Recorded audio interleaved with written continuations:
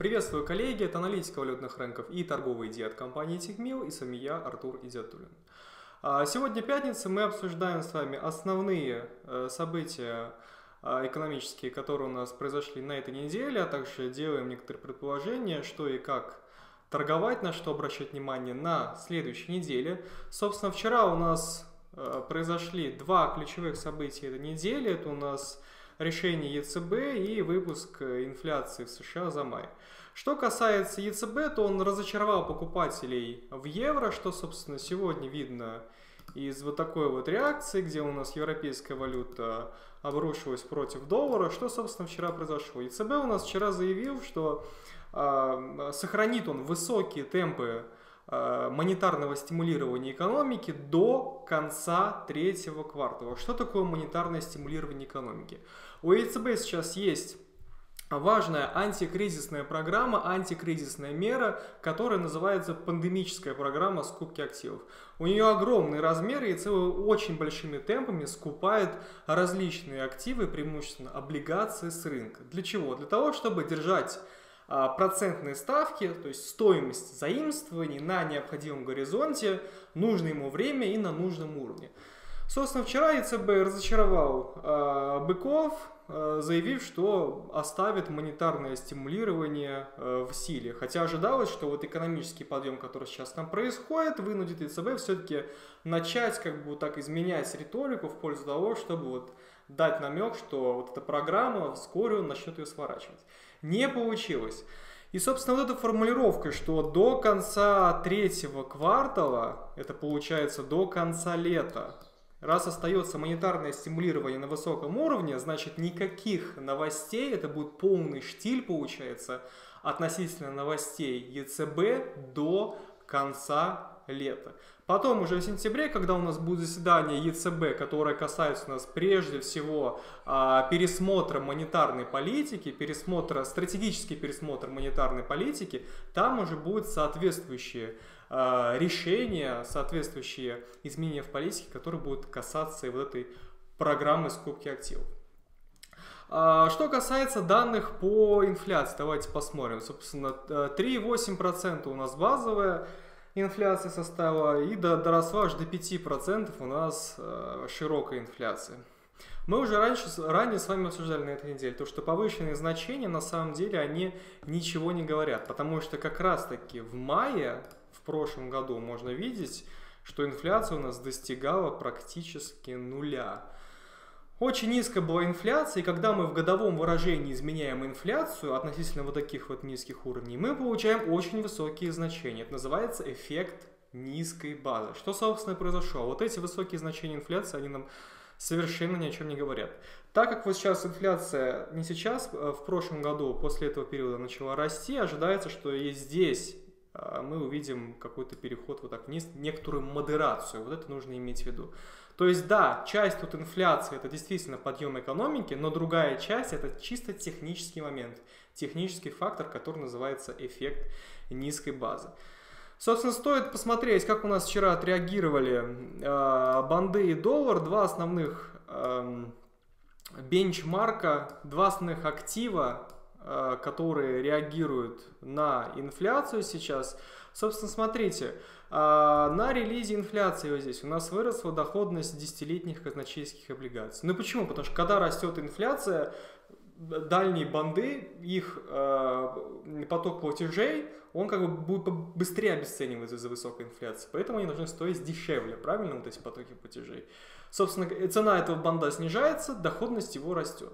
Но вот что удивительно, а, быстро очень рынок переваривает информацию, вот здесь вот такой вот скачок, и тут же мы уходим дальше вниз, снова у нас инвесторы в, заливают деньги в банды, снова они у нас входят в банды, и так вот, что мы доходим до минимума, э, ну, не знаю, многомесячного минимума, скорее всего, мы доходим. Вот такая вот очень необычная реакция, которая напоминает, э, знаете, такой вот э, эмоциональный порыв, да, вот здесь вот да, высокая инфляция, высокое значение инфляции, которую мы видели, но потом преобладает у нас все-таки здравый смысл, здравое понимание того, что есть эффект низкой базы, будет постепенно инфляция замедляться, и, собственно, мы как бы, ну, поэтому банды не должны, поэтому нет смысла бежать из бандов.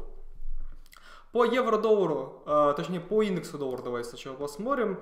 Сегодня мы видим вот такой вот сильный рост, который может говорить о том, что нас, так как на следующей неделе у нас есть заседание ФРС, э, часть участников рынка, она все-таки считает, что вчерашний отчет по инфляции вынудит ФРС задуматься о том, что а стоит ли низкие ставки держать на, так длительно на таком уровне, стоит ли КУЕ продолжать в таком текущем объеме.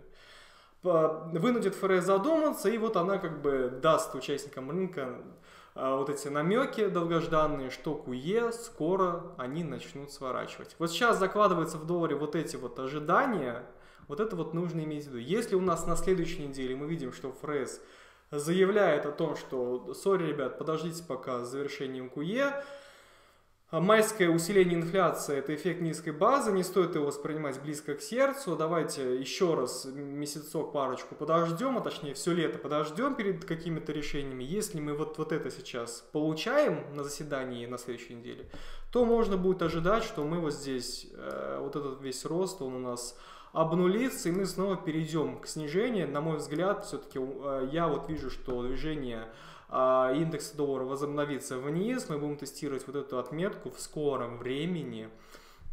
Как раз таки катализатором вот этого снижения, а, наверное, самым важным событием, которое повлечет снижение доллара, станет как раз таки заседание ФРС на следующей неделе. Потому что потом мы получаем все лето, там будет тишина, там будет сниженная волатильность, там будет нечего торговать. И Э, в принципе, если вы посмотрите, э, как у нас действуют центральные банки, они никогда о важных решениях не объявляют летом. Они ждут конкретно, когда вот начинается торгово-рыночная активность, чтобы рынок нормально мог это переварить. Для этого нам нужны, собственно, рабочие месяцы, их так назовем. Летом никто это не делает. То есть, если у нас на следующей неделе ФРС объявляет, что, сори, ребят, мы ждем с КУЕ, мы не торопимся, никаких намеков пока нет. А, на мой взгляд, сценарием, дальнейшим сценарием а, по американскому доллару это будет снижение в сторону вот этих минимумов. Если у нас ФРС э, вот такие вот благоприятные вещи будет творить на следующей неделе. Также, также давление на доллар э, усилится при этом со стороны развивающихся валют. Почему? Потому что, э, как мы видим, Э, политика дешевых денег четко дал понять, что сохранит ЕЦБ. Сейчас второй крупнейший центральный банк, за ним вот это также будет решение. Говорит, что будет сохраняться политика дешевых денег. Все лето у нас сниженная волатильность из-за пониженной торговой активности, плюс избыточная ликвидность э, в банковском секторе двух крупнейших экономик. Конечно же, это будет провоцировать carry trade.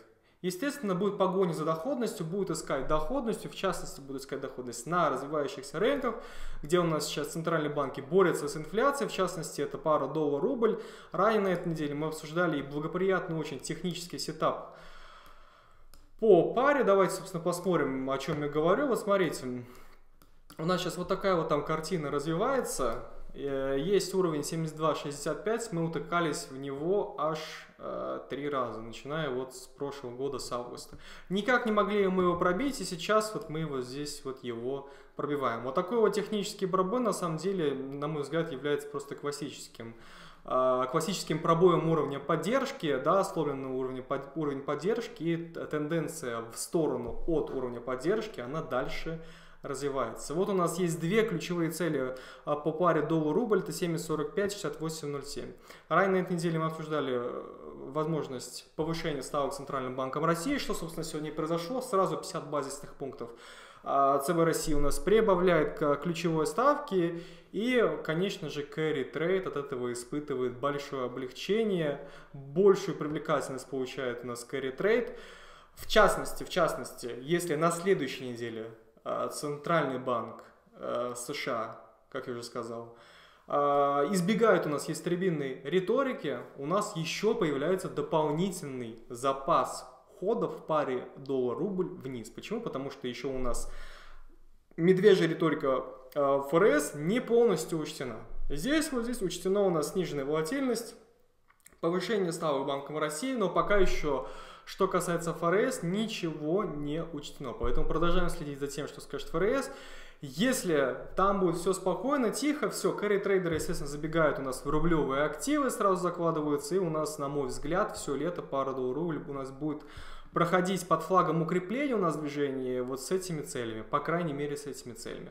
Вот это вот нужно иметь в виду. Привлекательная возможность у нас сейчас образуется по паре доллар-рубль, как раз таки из-за того, что происходит у нас еще большее расхождение политик центральных банков, в частности Банка России и, например, потенциально США.